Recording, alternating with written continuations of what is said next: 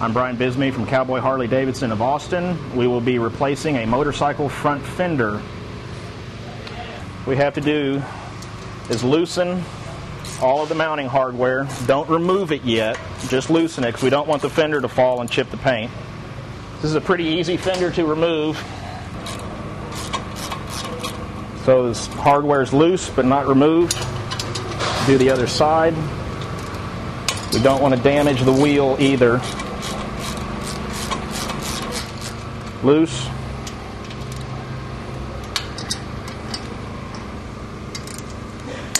And loose. Remove the rest of the hardware by hand. Be very careful with motorcycle painted finished surfaces. They are very expensive to repair.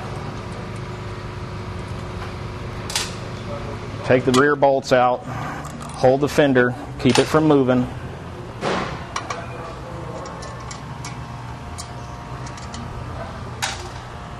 The front bolts out. Once these front bolts are out, the fender is free to move around and get scratched. Remove our last mounting bolt.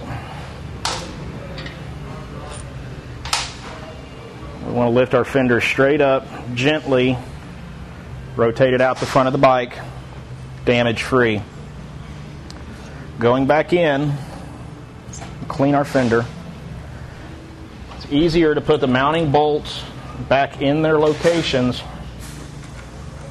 That way, when we get the fender in place, we can slide the mounting bolts right through. This fender happens to be directional. It's got a longer end on the back.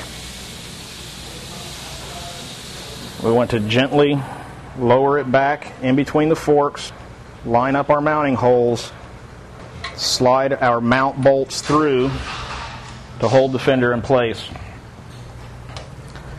We need to get our lock nuts Put them on the insides of the fender mounting bolts.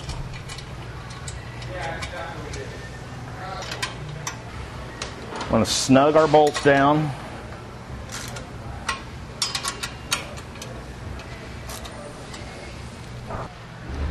This is a micrometer style torque wrench.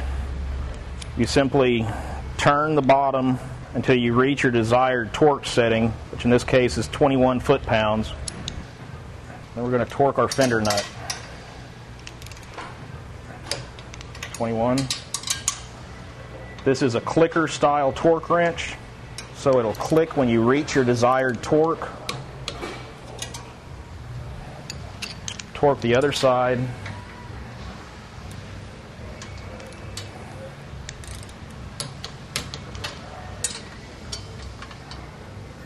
Make sure you do get these nuts tight. You don't want the fender falling off going down the road. Double check.